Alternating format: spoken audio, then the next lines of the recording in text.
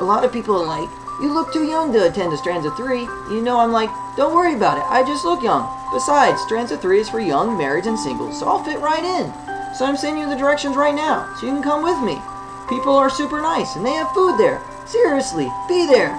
Get your parents to drop you off. Meet me there. Look,